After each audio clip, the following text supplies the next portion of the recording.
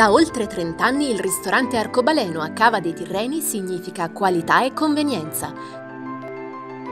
La Regione Campania e l'ANAS SPA hanno ufficialmente siglato un accordo di gestione per la riqualificazione, il rifacimento, l'ammodernamento e la costruzione di nuovi assi viari per un costo che supera il miliardo di euro. Nell'intesa è prevista anche la programmazione della manutenzione straordinaria delle strade per 112 milioni di euro. Una buona notizia questa per i sindaci della costiera amalfitana che ieri sono stati ricevuti a Palazzo Santa Lucia dal presidente De Luca per mettere a punto diversi interventi e progetti dedicati al miglioramento della mobilità lungo la caratteristica strada statale 163 Amalfitana. Firmato il protocollo d'intesa anche per il progetto della funivia che collegherà l'agro nocerino sarnese alla costa d'Amalfi, toccando tre punti strategici, Angri, Tramonti e Maiori. Si arricchisce dunque il protocollo d'intesa del 2 agosto del 2017 che in Regione Campania ha visto la partecipazione dei comuni di Agerola, Amalfi, Cetara, Minori, Ravello e Scala,